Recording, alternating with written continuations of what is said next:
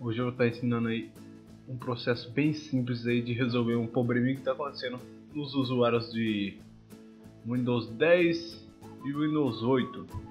Eu ainda não vi nenhum relato do Windows 7, mas acredito que até no 8.1 está acontecendo um probleminha chamado administrador interno. Não foi possível abrir esse aplicativo. No, nesse print que eu tinha visto na internet foi do Filmes e TV. No caso que eu vi uns caras reclamando foi do Internet Edging, Edging, eu acho que fala assim.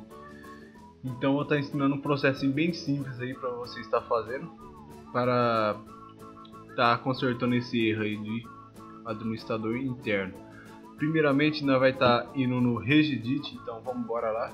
Segura a tecla do Windows e R vai abrir o executar ou se vocês acharem melhor vocês podem estar pesquisando executar aqui na barra inicial abriu vai vir escrevendo regedit regedit dá um enter aí aceito como administrador vai estar localizando a chave. Chavinha deixa eu lembrar corrente use machine. Abriu ela Vamos para o software. Abre o software, vamos estar procurando Microsoft lá embaixo. Opa, nem tão baixo, né? É, Microsoft, abriu Microsoft, vem Windows lá embaixo, agora vai ser.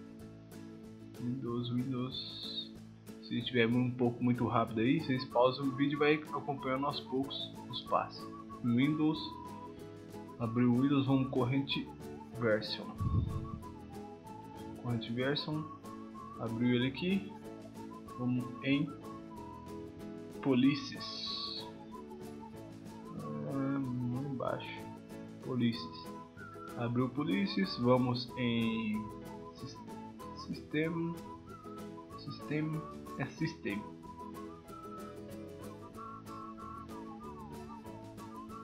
Aqui em cima, o System vai estar modificando Eula, esse aqui ó, Eula não, Enabelua.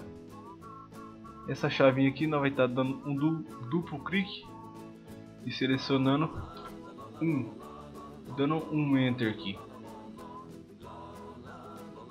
No caso de vocês, se não tiver nenhuma chavinha escrito Enabre Lua aqui, vocês vai vir novo adicionar chave, dependendo do seu sistema, 32 ou 64, você escreve o valor, escreve o mesmo nome que vai estar aqui, com as letras maiúsculas, maiúsculas, minúsculas, minúsculas e coloca o valor 1.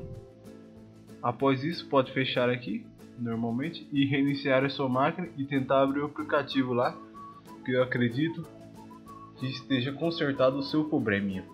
Se caso não deu certo mesmo assim, você vai estar tá aí deixando um comentário aí ou tentando entrar em contato aí pelo Skype que vai estar na descrição do vídeo, que eu vou estar tá entrando entrando em contato com a Microsoft lá e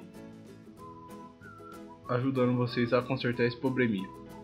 Se gostou do vídeo aí, deixe seu like, comenta aí se não deu certo. Se der certo, comenta também, dá o seu like aí para ajudar. E até o próximo vídeo aí, pessoal. Fui.